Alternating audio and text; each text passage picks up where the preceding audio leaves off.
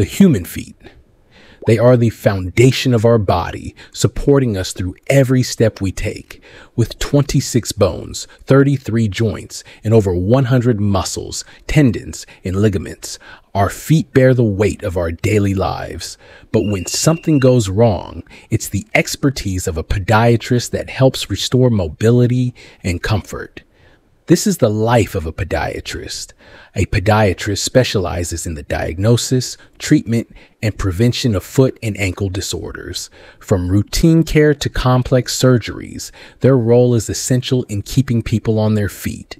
Whether it's relieving the pain of bunions, addressing sports injuries, or treating chronic conditions like diabetes, podiatrists focus on one thing the health and function of the lower extremities. Podiatrists are equipped with the skills to treat a wide range of conditions, from common foot pain to complex reconstructive surgery. They are the go to experts when it comes to the mechanics of walking, running, and standing. In the operating room, podiatrists perform intricate surgeries to correct deformities, repair fractures, and restore function to injured feet and ankles.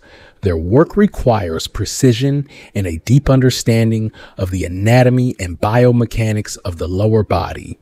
Every procedure, no matter how routine, demands focused attention, knowing that successful treatment will help a patient regain their mobility and quality of life. Not all treatments require surgery.